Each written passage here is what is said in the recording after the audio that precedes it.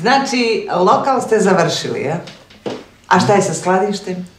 Pa nije valjda se skladište mora blistat. Čuj ovog mamlaza. Ima da se blista, šta, da nas opet inspekcija zatvori. Ajmo u skladište odmah. Majko, bi mi to mogli, možda sutra mene malo ruke već bole. Ne dolazi u obzir. Mrš u skladište! I za dva sata da se sve blista ko apoteka, inače nema ni doručak, ručak, ni večera dok se dijete ne rodi. Ne čujem, šta si rekao? Dobro! Tako.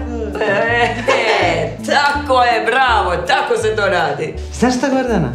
Pa nije ovaj menadžment uopšte loš. Pa šta ti ja govorim? Hoću ti još jedan čaj da ti napravim? Ovo će potrajati. Ma ne znam, meni bi nekako više pasala jedna čaša vina, ali pff, šteta što sam trudna. Ma šta?